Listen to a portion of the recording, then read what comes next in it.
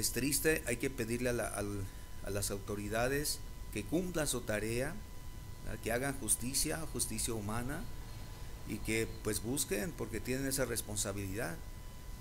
Pero también pues la familia que guarde la paz, que conserve la paz y que tenga fe en Dios y que ponga a su hija en las manos del Señor.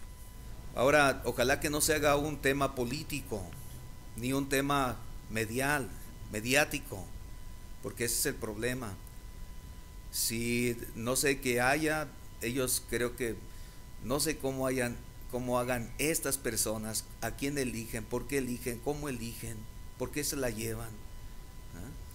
Pero de cualquier forma, las personas que pierden un ser querido así y que no saben, es una, una situación muy difícil, pues no solamente la mamá de la maestra, sino había otras personas muy dolidas, muy tristes. Yo primero les invité al perdón.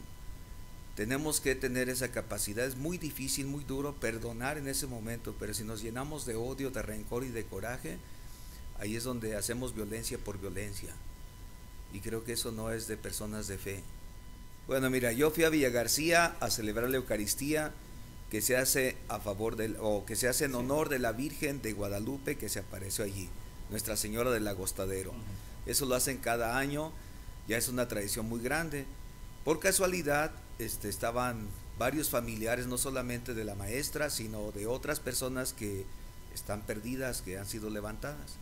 Pues fue un mensaje de, pues de, primero de cercanía. Yo fui a Villa García para mostrar que el pastor está cerca de ellos y para alentarles y animarles a que no pierdan la fe ni la esperanza, a que pongan siempre a Dios en el centro y que rueguen al Señor con, con mucho fervor y a la Virgen que pues ella pueda, ella pueda regresar.